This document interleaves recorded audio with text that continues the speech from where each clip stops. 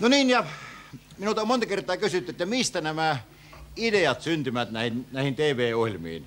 Sitä on erittäin vaikea yleensäkään tietää, että mistä ne syntyy, ne vaan tulee jostakin, mutta yhden idean mä kyllä tiedän, mistä se on tullut. Nimittäin tässä eilen minä seison tuossa mainos TVn kahviossa. Minun edessäni oli jonossa yksi kaveri, joka pyysi ketsuppia. Myyjä sanoi, että ei ole ketsuppia, ketsuppia on kaikki loppu. Niin kaveri sanoi, että aha, onko Karpo lähtenyt tekemään taas ohjelmia vai?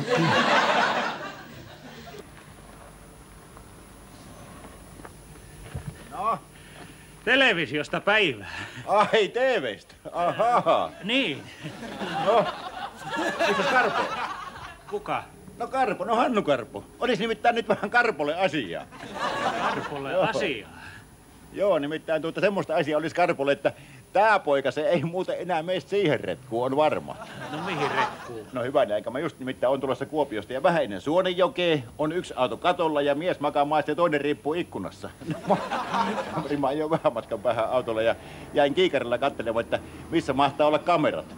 Mutta eipä näy kameroita missään ja, ja kyllä, täytyy, että kyllä se Karpo on siis hemmetin hyvä naamioitumaan. Ja sen, sen mä kanssa nauratti niin pöydisti, kuulkaa, katsokaa, kun joka ainut auto ajoi sitä ohi.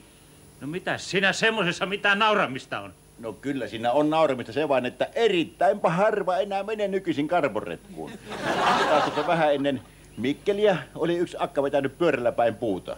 Ja Lahen jälkeen oli yksi auto selällään ja neljä ihmistä sisällä. Niin täytyy sanoa, että kyllä on taas ollut karpo tänään ahkerana. Erittäin ahkerana. Mutta tuota, täytyy sanoa vaan, että kyllä se siitä, siitä se vaan menee sitten.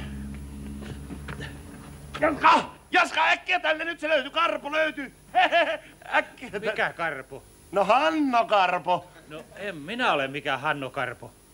Ette vai? En. En. No missäs Karpo on? No en minä vaan tiedä. Voi hemmeti, hemmeti. Mä oon just tulossa Kuopiosta. Mä oon, mä, mä, mä oon koko matka etsinyt Hanno Karpoa.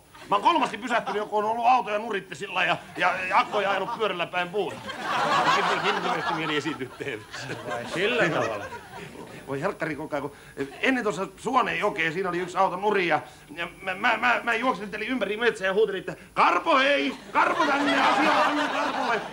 Sitten ei sitä mistään löytynyt, kun se Peveli hyvin piiloutuu. Sitten tuossa, eh, se oli Mikkelin kohdalla, niin oli yksi akka posauttanut pyörällä päin puutakuolle ja, ja siinä makaa, makaa ja mä juoksentelen sielläkin metsässä ympäri, mutta ei mistään löydy. Sitten, tota, sitten oli eh, tässä heti Lahden jälkeen, niin oli yksi auto mennyt aika pahasti nuritti, se oli ihan littanana ja neljä ihmistä sisässä. Mä menen siihen auton viereen, mä kysyn, että missä Sannu Karpo? Missä piisee, piisee ja sanoin, että mikä, mikä apua, apua. Mä sanoin, että apua tulee, apua tulee, kun sanoit, missä Hannu Karpo ei apua, apua, apua, apua. Mä sanoin, että apua tulee, ihmisiä tulee tähän heti. Kun sanoit, missä Hannu Karpo muuten ei tuu, tää jätkä ei nimittäin mene enää retkuun. Mä katselin kiikarilla, eikä löytynyt mistään kameroita. Se on niin vaikea löytää. Hei, nyt mä tiedän. Mä ajan, mä ajan kotiin, mulla on siellä jälkikoira, semmonen piruvihainen jälkikoira. Ja mä, mä ajan takas sinne Lahteen. Kyllä Karpo löytyy. Kyllä Karpo löytyy. Terveisiä vaan Hannu Karpo. Täältä on Jaska Jakomäkeen. Koira.